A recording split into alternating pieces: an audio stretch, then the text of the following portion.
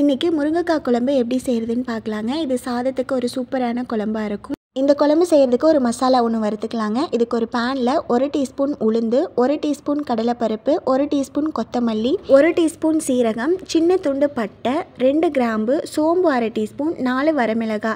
மிளகாய் வந்து உங்கள் காரத்துக்கு தகுந்த மாதிரி போட்டுக்கோங்க. மிளகு ஒரு டீஸ்பூன் போட்டுட்டு கொஞ்சமாக எண்ணெய் ஊற்றிட்டு அடுப்பை ஸ்லோ ஃப்ளேமில் வச்சுட்டு நல்லா வாசனை வர வரைக்கும் வறுத்துக்கோங்க. கடலைப்பருப்பு உளுந்து எல்லாமே நல்லா செவக்க வறுக்கணுங்க. இந்த அளவுக்கு வறுப்பட்டதுக்கப்புறம் ஒரு கால் மூடி தேங்காய் துருவல் சேர்த்துட்டு இதையும் ஒரு ரெண்டு நிமிஷத்துக்கு வறுத்துக்கலாங்க. சூடு ஆறின பிறகு ஒரு மிக்சி ஜாரில் சேர்த்துட்டு ஒரு பெரிய நெல்லிக்காய் சைஸ் அளவு புளியை சேர்த்துட்டு கொஞ்சமாக தண்ணி ஊற்றி அரைச்சி எடுத்துக்கலாங்க. ரொம்ப நைஸாக அரைக்காமல் லைட்டாக அந்த குறகுறப்பு இருக்கிற மாதிரி அரைச்சி எடுத்துக்கோங்க. அடுத்து குழம்பு தாளிக்கிறதுக்கு ரெண்டு டீஸ்பூன் எண்ணெய் ஊற்றிட்டு எண்ணெய் நல்லா காஞ்சதுக்கப்புறம் அரை டீஸ்பூன் கடுகு அரை டீஸ்பூன் சீரகம் போட்டுக்கலாம்.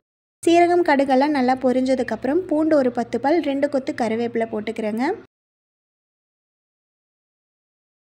ஒரு கைப்பிடி அளவுக்கு சின்ன வெங்காயம் போட்டுக்கிறேங்க. கொஞ்சம் பெருசாக இருக்கிறதுனால நான் ரெண்டாக கட் பண்ணி போட்டிருக்கேன். சின்ன வெங்காயம் இல்லைன்னா பெரிய வெங்காயம் போட்டுக்கோங்க. வெங்காயம் நல்லா வதங்கி வரட்டும். வெங்காயம் நல்லா வதங்கினதுக்கப்புறம் தக்காளி சேர்த்துக்கிறேங்க. இதுக்கு மீடியம் சைஸ் தக்காளி ஒரு மூணு கட் பண்ணி போட்டிருக்கேங்க. இது கூட கல்லுப்பு கொஞ்சமாக கால் டீஸ்பூன் மஞ்சள் தூள் சேர்த்துட்டு வதக்கிக்கலாம். தக்காளி ஓரளவுக்கு வதங்கினதுக்கப்புறம் குழம்பு மிளகாய்த்தூள் ஒரு டீஸ்பூன் போட்டுக்கிறேங்க. தக்காளி எல்லாம் நல்லா வதங்கிடுச்சு. இப்போ கட் பண்ணி வச்சுருக்கிற முருங்கைக்காயை போட்டுக்கலாங்க. இப்போ இதை ஒரு ரெண்டு நிமிஷத்துக்கு நல்லா கலந்து விட்டுக்கலாங்க. ஒரு அரை டம்ளர் தண்ணி ஊற்றிட்டு முருங்கைக்காயை நம்ம வேக வச்சுக்கலாங்க. ஒரு ஃபிஃப்டி பர்சன்டேஜ் வேகட்டும்.